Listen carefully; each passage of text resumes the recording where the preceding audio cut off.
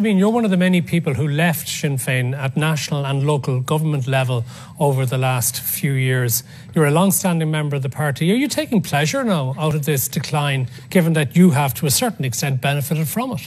I take no pleasure in it at all because there's actually many decent people that I know well who are councillors across the country, hardworking people who've lost their seats as a result uh, of the crash in the Sinn Féin vote over the last while.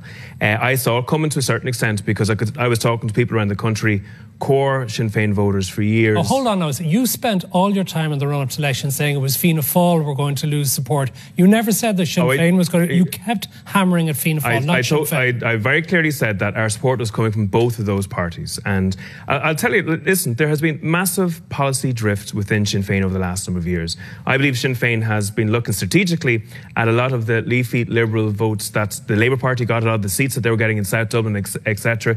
They sought to build a, a let's say, a bridge to the Irish Times voters uh, across the country. Um, you know, Mary Lou McDonald has probably changed the direction within in, in the, the, party on a number of issues.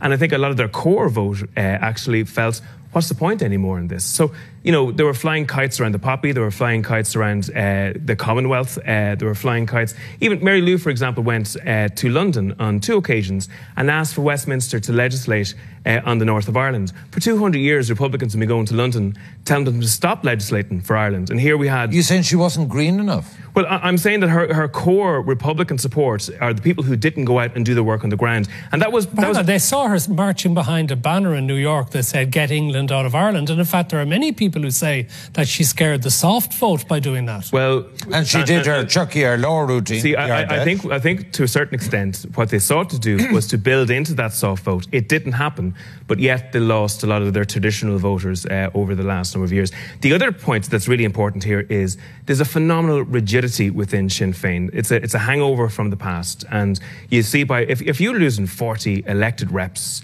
when you're in opposition, there's absolutely something seriously wrong in the space of a couple of years. Uh, these, uh, in opposition, is the time you build with elected reps, and yet because of that rigidity, because of that lack of space for people to have a little bit of a different view than than the leadership, it was. Well, well just on that, because your insight is interesting. Uh, uh a Fianna Fáil person was on this programme and he said to me off air, I said, what do you put down the, the, Fianna, the Sinn Féin thing? And he said, well, you know, Sinn Féin are toxic. They're not a normal party. Is that true? When you speak about the rigidity, is there a group of people in West Belfast that actually called the shots, or is that unfair? I, I don't think there is a, a group in, in, West Belfast that called the shots. And that's a, I'm being seriously honest with that. But I do think there's a group of about 10 people, the national officer board of the party, who decide exactly what happens. And there is the internal infrastructure of, of internal democracy for sure, but everything comes down on, from on high and is pushed Martin, down. Is that true?